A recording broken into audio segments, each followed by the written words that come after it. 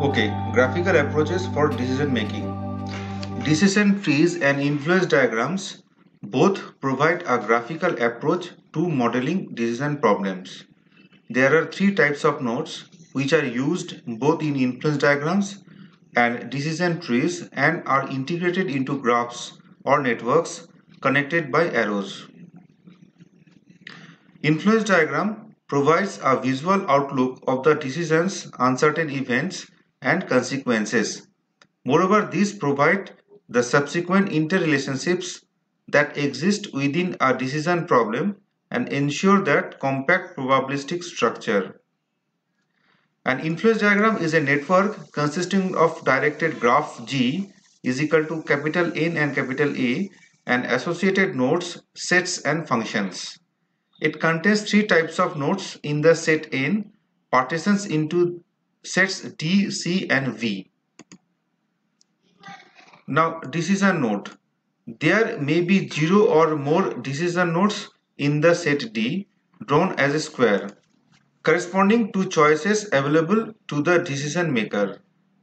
Chance node. There are 0 or more chance nodes in the set C shown as circle representing random variable. It represents random quantities which are associated with a random outcome variable.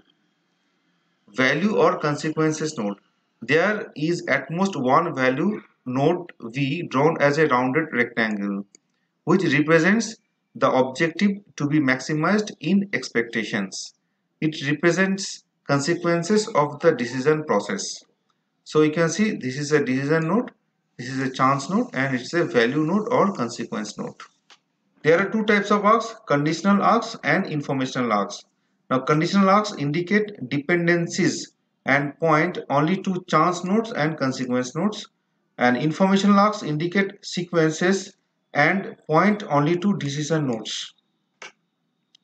So you can see we represent conditional arcs using solid lines and we can represent informational arcs using dotted lines. Here we show some basic influence diagram as follows. Now we can see decision A is made before decision B. So we can see what is the decision node. We can see outcome of C is known before decision D is made. Now decision E is relevant to the assessing the probabilities of outcome of F. So it's a chance node and outcome of G is relevant to the assessing probability of outcome of H. So outcome of G is relevant to the assessing probabilities of outcome of H. Now we represent here few scenarios for different chance, decision and value nodes interconnections. Now we can see here total independent chances. So we can see what is the chance node. So I, J, K they are independent chances now we can see in this particular figure k is k is independent but j is dependent on i but i is also independent. Now conditional independent chance so k is dependent on j j is dependent on i and i is independent chance. We can see here complete dependence chance. So k is dependent on i and j j is dependent on i and i is independent chance now in this particular figure, the value n, the value n or the consequence n depends on the random variable m that is chance and which itself depend upon the decision L. So the value n is dependent on n and chance m is dependent on decision L. Now here the value n, the value n depends on both the random variable m, chance and the decision L.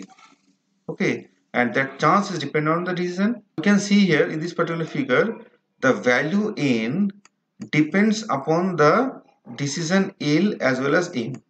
So it value n consequences depend on the chance as well as decision but the chance is independent that M is independent of the decision L.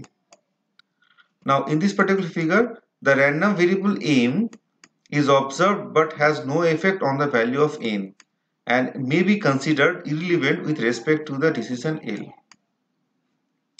Now in this particular figure, the random variable M is observed before the decision L is made. Okay, so that M is observed before the decision L is made. but the value of n is dependent on m as well as l now we can see one example suppose you have rupees 50000 to invest and the objective is to earn as high a return on your investment as possible. There are two alternatives investing in a share market and keeping the money in a savings bank account with a fixed interest rate. If you invest in a share market you your return depends on the success of the share market. You figure there would could be two possible outcomes the share value is either widely high and you earn rupees 20000 beyond your initial investment hence leaving rupees 70000 in total. And the share and the second is what? The share value is low and you lose rupees 10000 on the other hand if you put your money into the savings bank account you will earn rupees 4000 as interest regardless of share value. Now draw the influence diagram now we can see here the return is a outcome okay or consequences. And that return is depends on investment choice and the business choice independently. The investment choice is not dependent on the business results and the business result is not dependent on the investment choice. Now so business choice business result. So chance it depends upon the chance okay business result depends upon the chance. So savings account so if it's a savings account it may be success and failure and if it is a share it may be success and failure. So if it is a savings account so you, you will get fixed interest rates. So both success and failure it is the same. But if it is a share market so if it is a success then we'll return the return is 70,000 but if it is a failure it is a 40,000 so we can see here return is depends upon the business result as well as the investment choice now in another example a hurricane cyclone called Hudhud near the Visakhapatnam threatens to cause several damage as a result the authorities recommend everyone to evacuate although the evacuation is costly, you would be safe. On the other hand, staying is risky, you could be injured or even killed if the storms comes ashore within 10 kilometers of your home. If the hurricane's path changes, however, you would be safe without having incurred the cost of evacuating. The two fundamental objectives are to maximize your safety and to minimize your cost.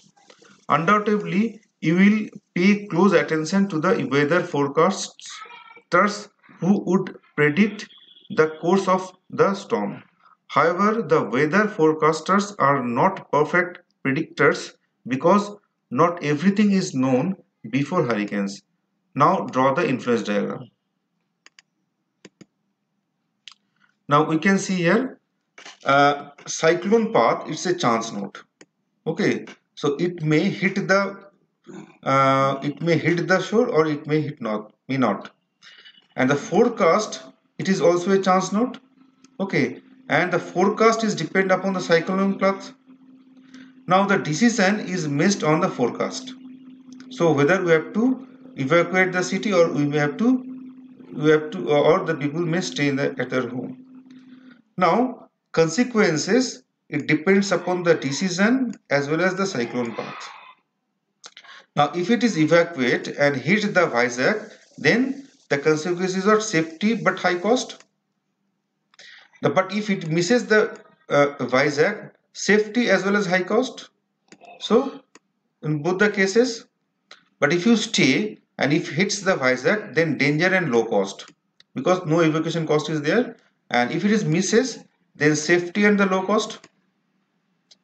Now notes on influence diagram. Influence diagrams provide a snapshot of the decision environment at one point in time. Influence diagrams are not flowcharts and cannot contain any cycles. The arrows must indicate how uncertainty is relevant. Now we discuss the applications of influence diagrams as follows. They provide a framework by which a decision maker can reject or confirm assumptions and accurately model dependencies through a graphical presentations. Complex decision problems may become messy. Influence diagrams provide a format whereby the large volume of information can be summarized into relevant and sufficient information. A complex decision may be reduced to a few steps and lines. It provides the ability to capture and communicate the spirit of a problem in an easy to understand manner. Influence diagrams are excellent for showing the relationship between events and the general structure of a decision clearly and concisely. It helps to structure the problem and identifies influences and dependencies between decisions and uncertainties. It develops the logic and structure for the computer decision model. Now we discuss about the construction procedure for of influence diagrams as follows. Identify the types of problem, for example, business, marketing, research, and develop and development, explorations, etc. Put a value model labeled with the decision criteria at the middle of the right hand side of the diagram. To solve the uncertainty, identify the most important informations. Choose one uncertainty and develop it completely before tackling the other nodes. Make sure the nodes are clearly defined and specific. Frequently review the uncertainties on the previous issue raising list. Identify deterministic uncertainty nodes. Try to identify the formula of the values of the nodes. Identify structure of information and write each source's name. Revise the diagram periodically and finally write an information gathering task list. In the next video we'll talk about decision tree and that is the end of this particular video. Thank you very much.